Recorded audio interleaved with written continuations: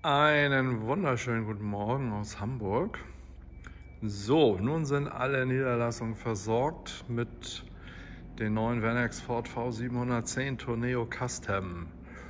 So, hier jetzt in dem schicken Grey Matter.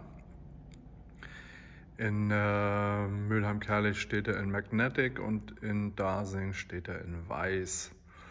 So, hier natürlich Vollausstattung. Der 170 PS Allrad, Diesel, immer natürlich mit Automatik, immer mit dem schwarz lackierten Aufstelldach. Das ist Standard jetzt bei denen, nicht mehr in Wagenfarbe. Äh, und natürlich Level 2 Ausstattung, die unterscheidet sich im Hinblick auf Level 1 dann hauptsächlich durch Assistenzsysteme und verfügbarer oder fest verbauter Standheizung.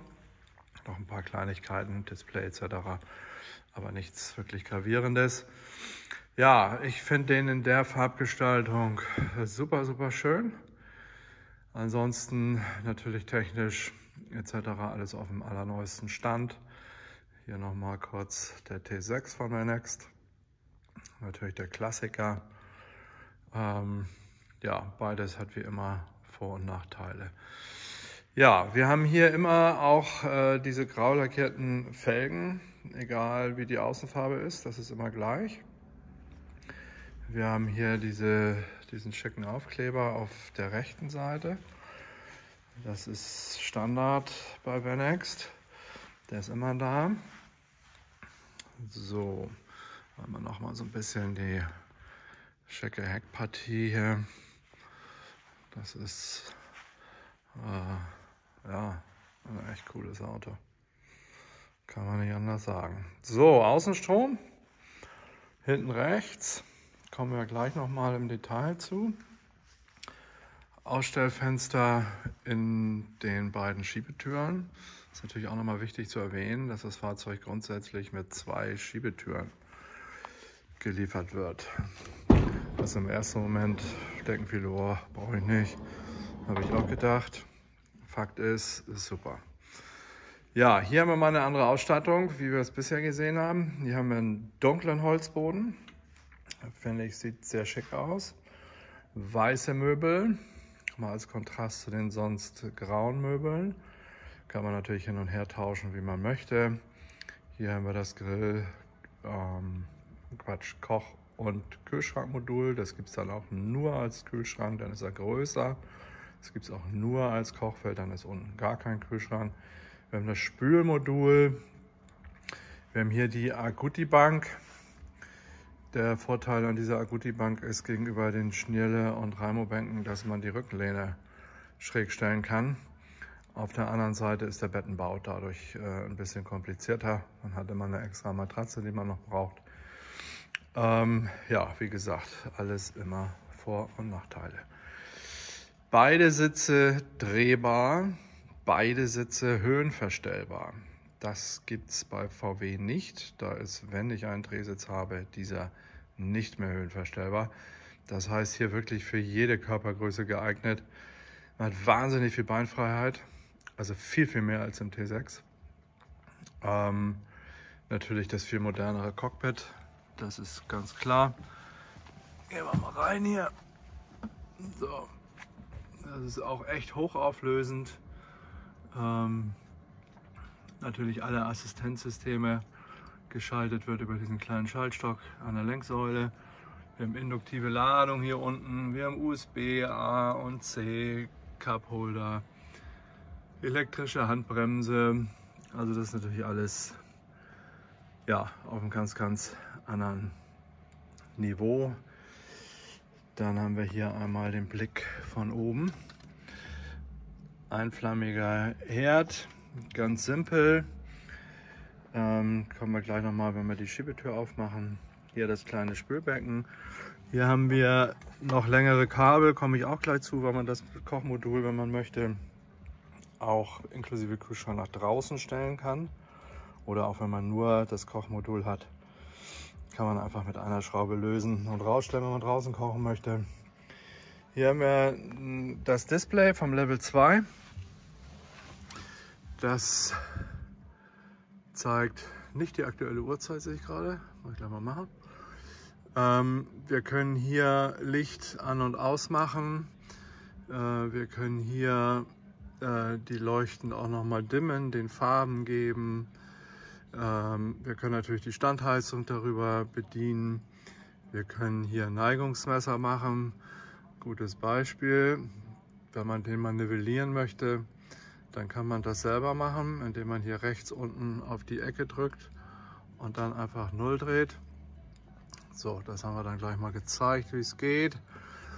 Ja, ansonsten ähm, zeigt er natürlich den äh, Ladezustand der Aufbaubatterie.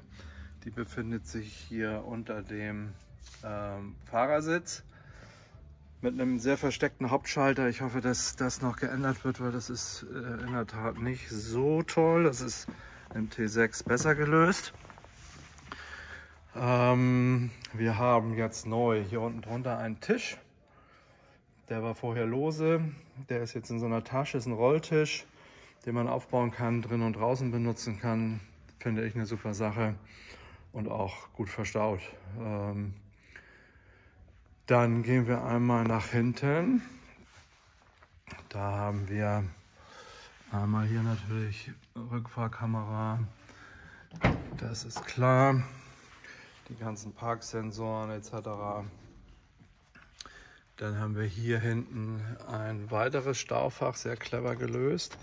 Das ist nämlich ein Hohlraum gewesen für gar nichts. Und jetzt ist da so ein eingearbeiteter Art Sack, wo man echt viel unterbringen kann.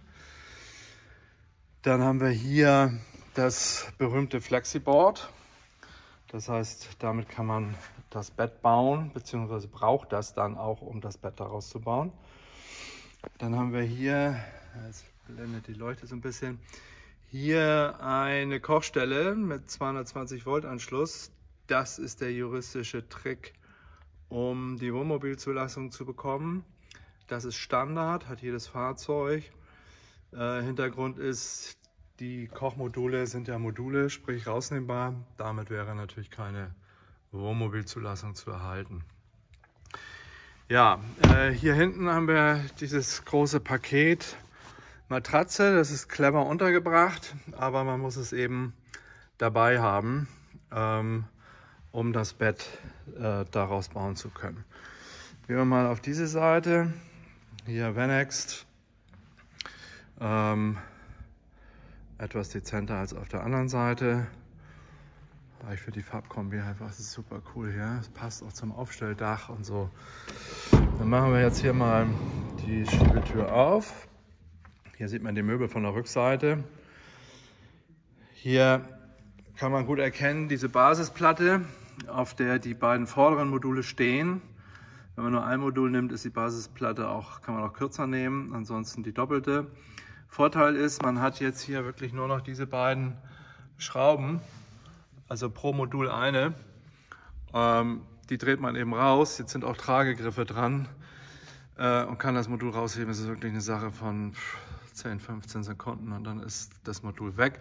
Die elektrische Verbindung, die kann ich einfach hier ganz schnell lösen.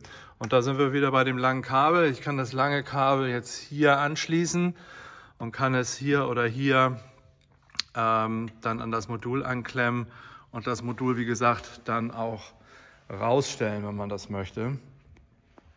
Ansonsten, ja, kleines Waschbecken, typischer Wasserhahn, nichts Besonderes.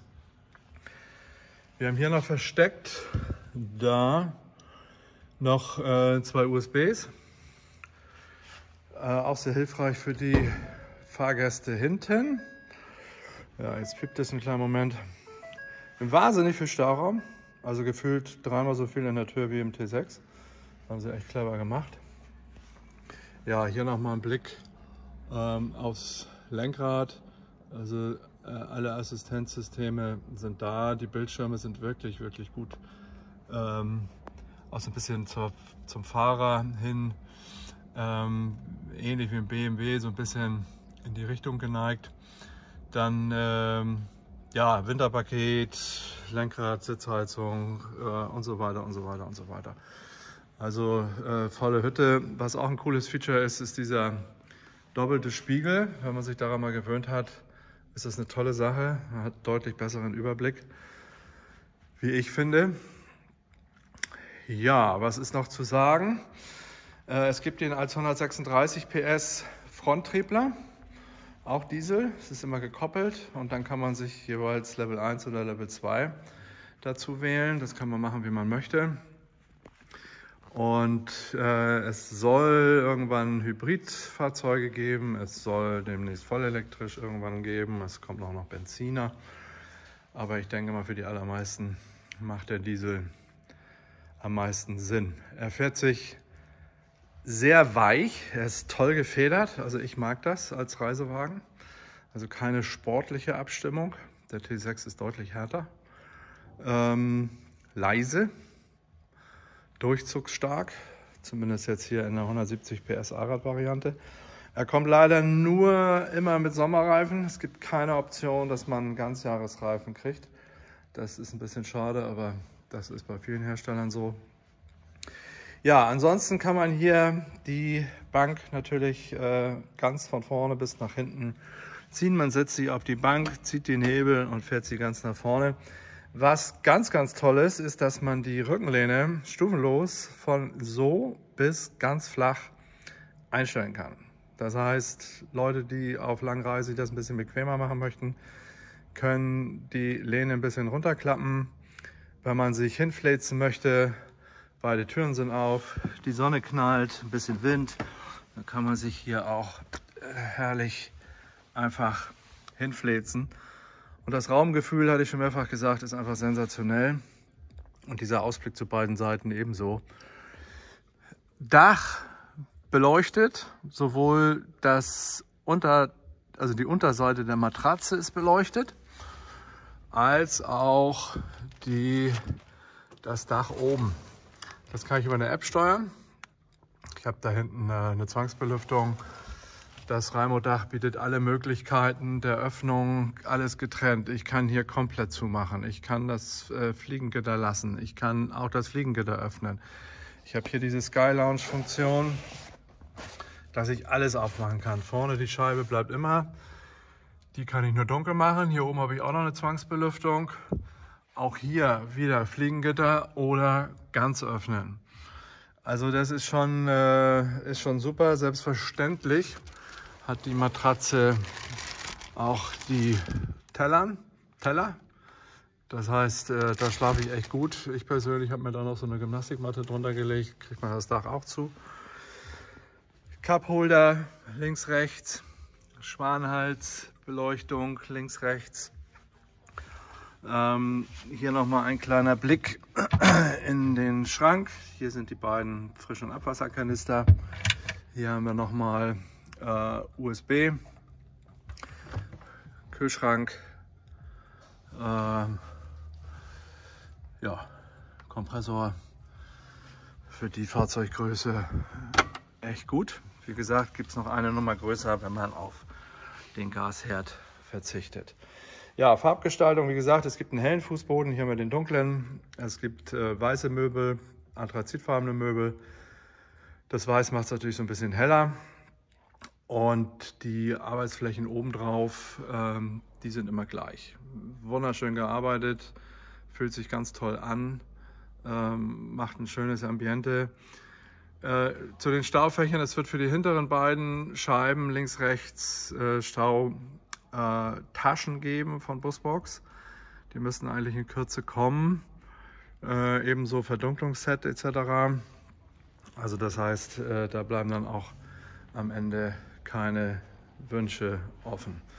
So, ja, ich hoffe, ihr habt so einen kleinen Eindruck bekommen ups, äh, von dem äh, schönen Fahrzeug. Es äh, wird ihn demnächst auch in Schwarz geben, im Moment leider noch nicht. Äh, Grey Matter finde ich persönlich äh, super cool. Ähm, dann das äh, Magnetic, das ist so ein dunkles Anthrazit, praktisch fast genau die Farbe von den Felgen. Ähm, das, da ist das Fahrzeug natürlich wirkt es etwas seriöser, sag ich mal. Ähm, hier ist es so ein bisschen, ja, ein bisschen mehr Outdoor-Charakter. Äh, ähm, wie gesagt, anzuschauen jetzt äh, überall an allen unseren drei Standorten. Hat ein bisschen gedauert, aber jetzt sind sie, wie gesagt, alle da. Und Lieferzeiten sind relativ schnell. So in der Regel so ja, sechs bis acht bis zwölf Wochen, zumindest im Moment. Also, wer Lust hat oder Lust bekommen hat, der ist herzlich eingeladen an unseren drei Standorten in Dasing, Mülheim oder Hamburg. Also Mülheim-Kerlich bei Koblenz, nicht das nördlicher gelegene, ähm, vorbeizukommen und sich mal einen Eindruck zu verschaffen. Lohnt sich, tolles Fahrzeug. Bis dahin, macht's gut, ciao, ciao.